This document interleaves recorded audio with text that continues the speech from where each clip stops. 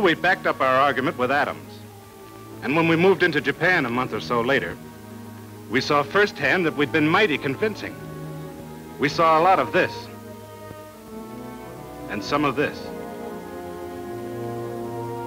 Sort of gave a guy the shakes. That is until he... What happened?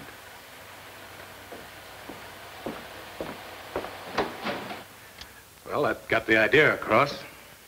I'll have this gizmo fixed in a second. Then put on something easier to take. A rootin' tootin' western. With men fighting it out the old-fashioned way. Yeah, none of that atom business. Why not? It's our business. You saw what happened in Japan. What if it happened here? What would you men do? Well, that's easy. I'd go see a tailor. Tailor? Sure, have my uniforms altered. Have 'em cut to let my wings out. All God's children's got 'em, you know. I'd take music lessons. On the harp, naturally. Well, I'd... Nah, that wouldn't do. I think I'd... You tell us. Okay. Come on. Learn and live.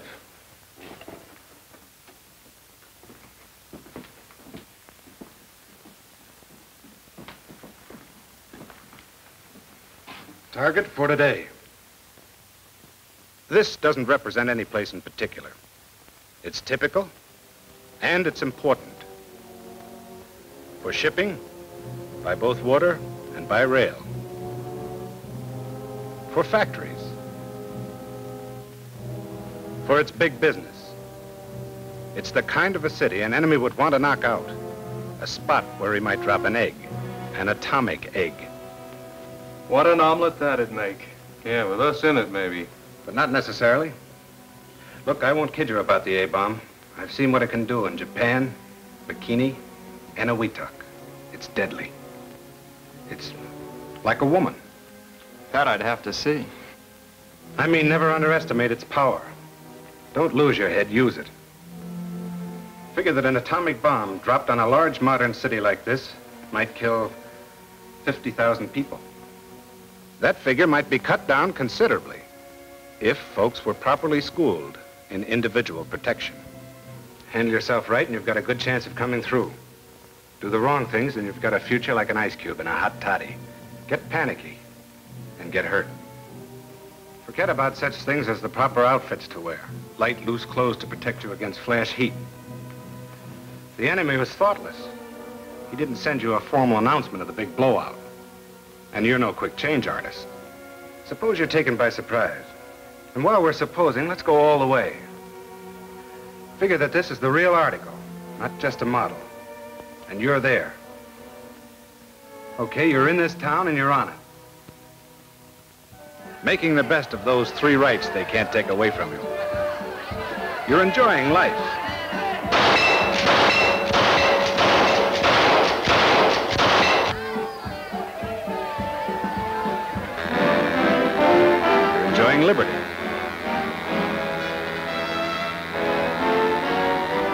You're pursuing happiness. Whatever shape it comes in.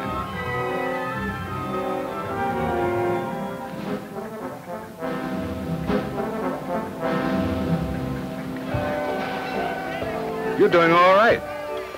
When...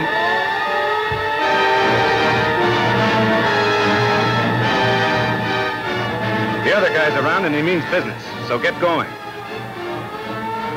Remember, you're off base. You've just got time to save yourself. Drop whatever you're doing. Find the nearest hole and make like a mole. A subway's okay. Stay out of flimsy buildings. They give bad protection. A basement's fine, preferably under a solid, well-constructed building. And the safest positions are near strong supporting columns or next to the walls, protected from falling bricks and two-by-fours. If there's no underground shelter handy, pick a room in a good building, close to the ground. It ought to be airtight and light-proof as possible, with the doors shut, windows closed, and blinds drawn.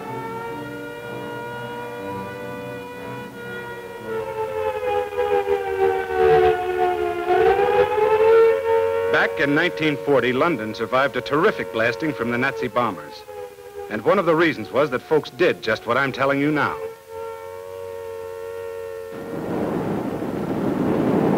Pretty crowded down in those shelters. There wasn't much fresh air. There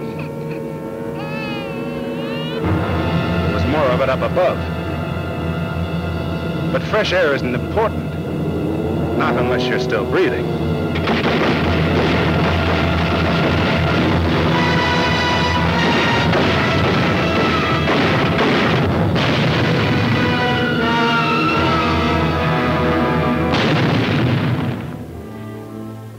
What those people did, and you're on the right track.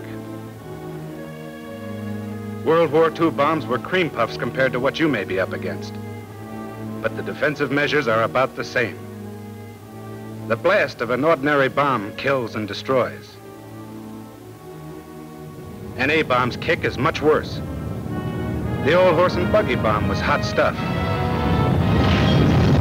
The A-bomb is hotter. So when you get the warning, don't stop to ask what's cooking. It might be you. The big idea, if you've got time enough to swing it, is to shield yourself by thick, strong, heavy material like reinforced concrete from the A-bomb's blast. And heat. Do that, and you'll also be protecting your hide from its radiations. A lot of people, including you men fairly new to the service, got the notion that radiations are like the double whammy turned on by Evil Eye Fleegle, the comic strip character. Irresistible, I mean. Well, you're wrong. They're mighty penetrating and deadly, but they can be stopped. Authorities know exactly what it takes. Just what thickness of steel, concrete, or wood will do the trick. But you're no authority. Even if you were, you haven't got your tape measure or calipers with you. Even if you had them, you wouldn't have time to use them. You're just a guy trying to get along. And fast. A heavy wall between you and the source of the blast will cut off most of the radiation barrage. But you don't know where the source will be. And radiations can scatter and bounce off the air the way a basketball bounces off the backboard. What you want, then, is a spot that shields you above and all around. That's if you can find it without wasting time. Comfortable? Not me. I've been figuring I got caught away from any of the shelters. Out in the open. So what do I do? Play dead? Right. Or maybe you will be. If there was a ditch handy, you'd flop in it. But there isn't. So hit the dirt, like men did in World War II. Lie flat, face down. Cover the exposed parts of your body. The bomb's flash heat is rugged. Don't get curious and look around. Its light can blind you temporarily. You all with me? Fine. Now we're about as ready as we can be for the fireworks. Bombs away. Just one. I want you to visualize what would happen if the enemy somehow slipped it through our defenses. That it's about as powerful as the ones we used in Japan. And that he wants it to explode about 2,000 feet above the city. Right about here.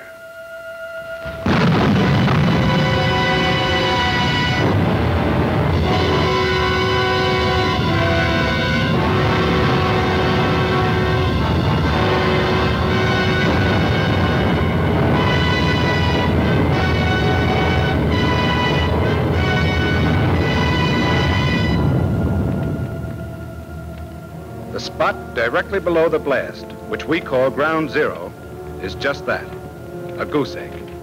A lot of nothing. And out to a mile or more, the destruction's terrific, with only a few strong structures surviving.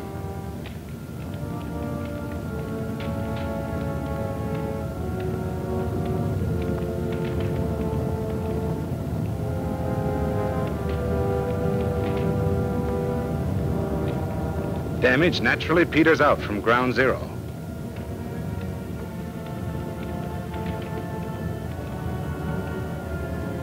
But all big explosions are affected by obstacles such as hills.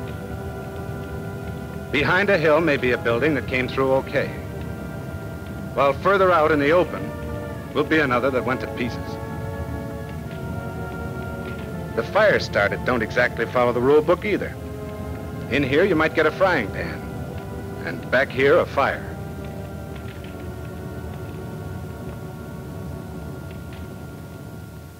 I've got a very messy picture. Me too. And where do we fit into this? You'd be all right if you found a good spot. Underground and reinforced concrete shelters give good protection close to ground zero. Yeah, but what about me? I'm the guy caught out in the open, stretched across Mother Earth's lap. How am I doing? If you were near ground zero, within three quarters of a mile from it and completely exposed, you'd be a dead duck. A roasted duck.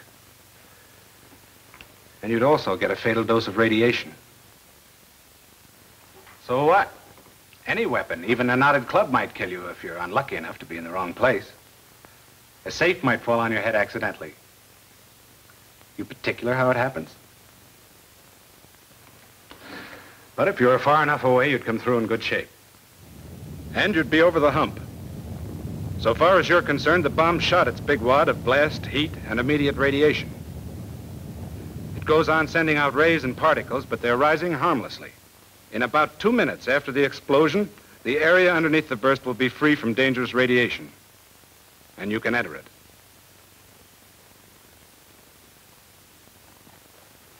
You've probably got military duties to perform. There's a lot of relief, rescue, and policing work to be done. So after waiting a couple of minutes, get moving.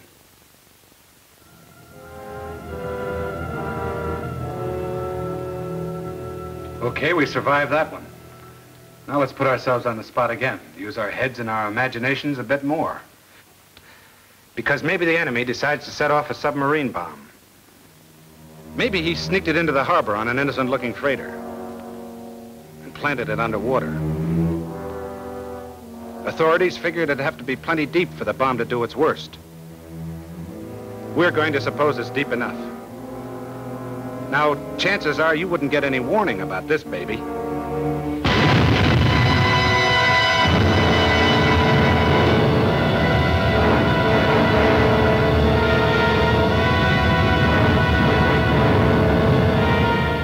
You'd sure see it, though. You wouldn't worry about being blasted or burned by a submarine explosion. But watch out for the fog and mist. It's radioactive, packed with poison, and it moves fast.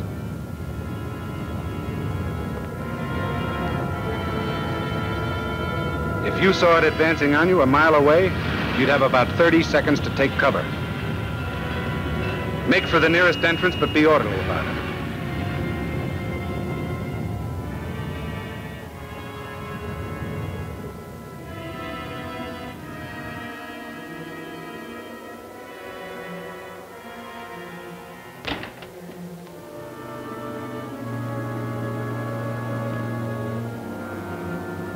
Fog has contaminated everything it touched with radioactive matter, which we'll call hot stuff. Although it hasn't anything to do with its temperature.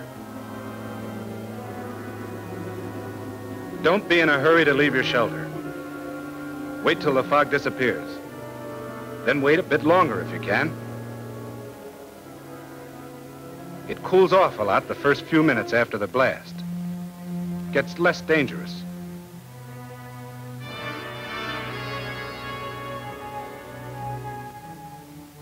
It'd be best to wait until the radiological defense men come around to tell you what to do. But if you've got to go, go the right way.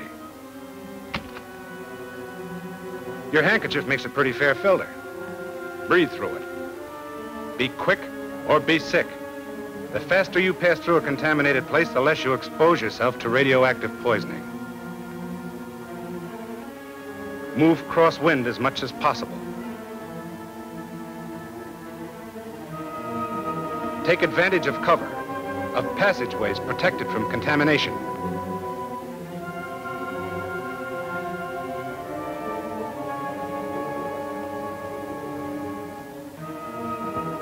Don't collect souvenirs like watches and coins. They may be hot. You've gotten out of the danger zone. Your head's in its usual place, your skin still fits. You've got your normal quota of arms and legs. Souvenirs, you'll get some real pleasures out of. it. Sooner or later, you'll run into the radiological defense monitors. They're the detectives of this atomic business. With their instruments, they examine everything for radiation contamination, including you. If your uniforms are hot, they'll end up same as clothes after a skirmish with a skunk. They'll go to the laundry if they're not too hot. Or if they're too badly contaminated, they'll be buried or dumped at sea. And you'll give yourself the soap and water treatment to remove any radioactive stuff you might have collected. From then on, you'll watch your step. First, report to the nearest military officer or organization for instructions. As soon as they tell you to, rejoin your own organization. Your commander, on the advice of the radiological defense people, will tell you which areas are safe to enter and which aren't. They'll also advise them on the food you eat and the water you drink. You'll be careful about getting radioactive material inside you. You can get there by breathing dust, eating, or through breaks in the skin. You'll be told how to prevent overexposure to the stuff. How much of it can a guy stand? How much whiskey will it take to knock a guy in his ear? Why, that depends. It sure does. But the defense people can tell you what the safe limits are. And they'll keep checking in order to determine those limits. The odds on you surviving an A-blast depend a lot on you. Okay, Sarge? Right. Get panicky or fat-headed, and you'll probably have a new title. The late John Doe. Which isn't exactly a promotion. Use your think tank. Follow the rules, and you might live to look it over. That's the picture, men.